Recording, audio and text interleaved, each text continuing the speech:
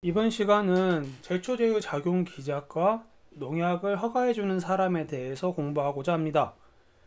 1번 보겠습니다. 제초제의 작용 기작이 아닌 것은 아미노산 합성 저해제, 광합성 저해제, 옥신 작용 저해제는 제초제의 작용 기작이 맞죠. 신경 전달 저해제는 살충제 작용 기작입니다. 아미노산 합성 저해제는요, BGH의 작용 기작 표시 기호가 있고요. 광합성 저해제는 C가 그렇습니다. 옥신 작용 저해제는 O가 작용 기작 표시 기호가 되겠습니다. 따라서 답은 1번이고요.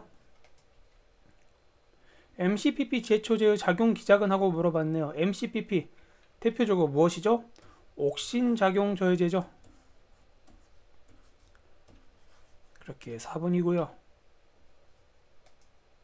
pyrazosulfuron의 제초제의 작용 기작을 하고 물어봤네요. pyrazosulfuron 아미노산 합성 저해제죠. 아미노산 합성 저해제 뭐가 있다고 그랬죠? BGH. 그 중에 B가 이 pyrazosulfuron과 관계가 있습니다. pyrazosulfuron은 작용 기작 표시 기호가 B가 되고 이것은 아미노산 합성 저해제이다. glufosinate의 작용 기작은 무엇일까요? 이것도 역시 아미노산 합성 저해제이죠. BGH 중에 H가 glufosinate의 작용 기작이 되겠습니다. 그래서 답은 2번이 되겠고요. glyphosate 이것도 역시 아미노산 합성 저해제입니다. BGH 중에 G가 이 glyphosate가 되겠습니다.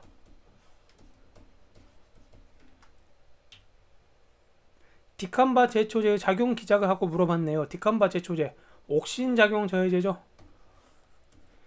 이사디, MCPP, 디캄바 이것들은 모두 옥신 작용 저해제 표시 기호는 5가 관련이 있습니다. 따라서 답은 4번이고요. 농약 등록을 허가해주는 사람하고 물어봤네요. 이 중에서요, 농촌진흥청장이 농약을 마지막으로 허가해주는 사람이 되겠습니다. 그렇기 때문에 답은 2번이 되겠습니다.